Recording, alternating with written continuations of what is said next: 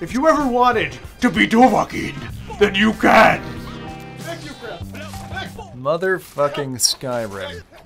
janky little bitch. How do we start?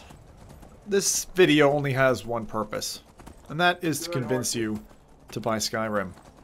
Because they paid me a heap of money. Bastards. No, I wish they did, but they didn't. But they did give me Oh, my favorite VR experience to date. And that's after more than 500 VR titles, mind you. I've played games across the the, the old development kit, Oculus Rift, HTC Vive, and PSVR.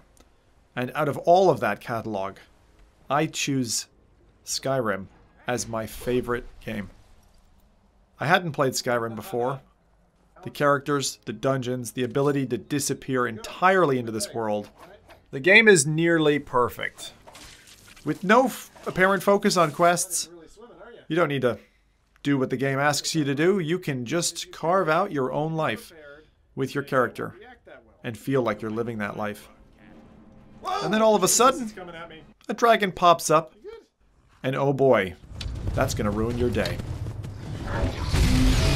Shit!